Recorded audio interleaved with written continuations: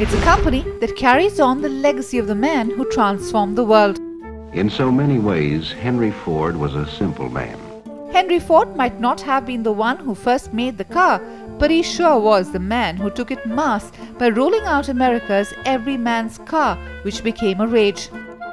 But the brilliance of Henry Ford didn't end in the cars he rolled out or the fact that he made sure that every worker in his factory could afford one.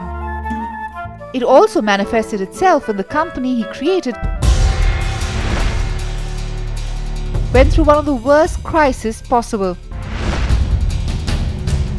But if you've been around as long as Ford has, ups and downs are part of life. And with so much to cover, I sat down with Michael Boneham, Ford's India head, to find out how things were right now here when the great Indian growth story was being questioned.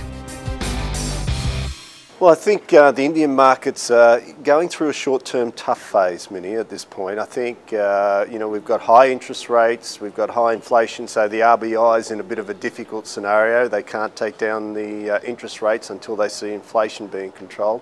That has a big impact here in India in the car market because 70% of all cars sold here are sold via finance. Tell me, if you were to compare it to 2011, is it worse or is it looking slightly better? Because 2011 was really bleak. Well, I think what we're seeing, SIAM have just revised down their targets uh, for growth from 11 to 12% to 9 to 10%.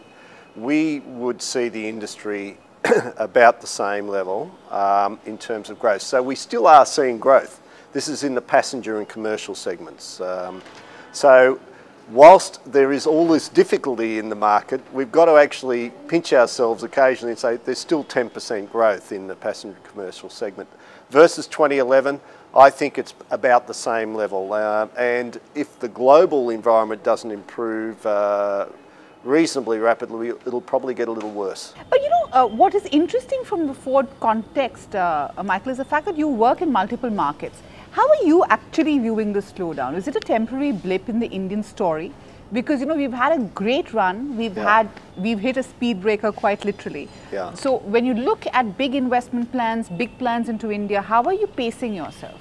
Well, you know we've uh, really uh, demonstrated significant confidence in the long-term future of the Indian industry, and that hasn't faltered. Um, we've committed a billion dollars in Chennai, and we announced uh, about a year ago an additional billion dollars of commitment to a new facility in uh, Gujarat and we haven't taken our foot off the accelerator on that investment despite these short-term difficulties. And you're right, I've been in the industry 27 years and we have seen peaks and valleys in extreme difficulties in the industry. If we go back to 2008 in the, the US, for example, we're seeing significant issues in Europe right now. Um, here in India, our view is uh, very, very strongly that we will get through these short-term difficulties. We'll continue to invest. We have to make sensible, rational decisions in the short term, but from a longer term perspective, we haven't changed our laser-like focus.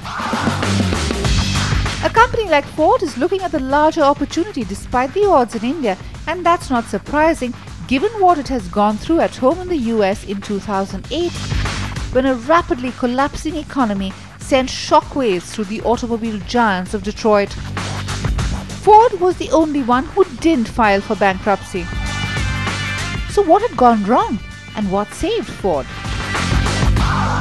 No one saw the financial crisis uh, coming as rapidly as it did with the Lehman collapse and so on, and then how rapidly that moved through the uh, money markets and then the tightening and the credit squeeze that, that occurred, that, that drove in the, uh, the business world in total, including automotive. So the answer is we had, with Alan Mulally coming on board, we were very fortunate to have Alan come on board and work with us when we were looking at our plans uh, in 2007 as we moved into 2008 to take out, I suppose, the world, as Alan called it, the world's biggest home loan uh, mortgage, uh, which was $20 billion of borrowing. And we had that $20 billion prior to the tightening of the credit markets, which um, was a very you could say fortuitous, well planned, whatever you want to call it. Um, the bottom line is we had it there and we were able to continue on our course despite uh, our competitors uh, having to declare uh, bankruptcy. It is estimated that at the height of the crisis in 2008, Ford was losing $100 million a day. And reports suggest that the company had to tighten its belts like never before. But what worked for Ford then was timing. Just two years before, Alan Mulally, the new CEO of the company, had come on board, seen the signs, raised money, and started a cleanup. Alan, when he arrived, made us reflect as a total company on how we were situated and what we were about as a brand and a, and a, and a corporation. We were Ford Motor Company with a significant number of brands and the Blue Oval was one of those brands and Alan really made us stop, think and reflect and focus on the Ford brand, one Ford. And by focusing on that, that meant all of the acquisitions we had done and grown and stretched ourselves across, to be quite frank, paying attention to a large number of brands makes it very difficult to focus on the core brand. And so we were working very hard prior to the crisis to rationalise our So business. you were lucky that the rationalisation happened before well, the we were in the process of rationalising. Volvo, for instance, happened after the crisis and so on, but uh, Land Rover, Jaguar, and so on, we were working uh, to bring ourselves back to the Blue Oval, and that's the great one Ford process and one Ford principle that Alan drove into us.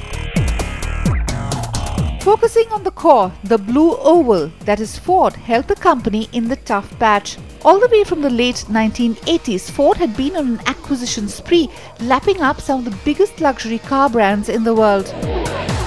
These cost big money and also hurt the company. Mulally's bid to get out of them, including Land Rover and Jaguar, which he sold to the Tatas in the nick of time, helped Ford get through the tough patch. But the big success for the company came when it went back to some of its founder Henry Ford's most basic principles making affordable cars and looking outside the US. And that's exactly what Alan Mulally did as he pushed Ford to focus on the compact segment and the fast growing Asia Pacific region.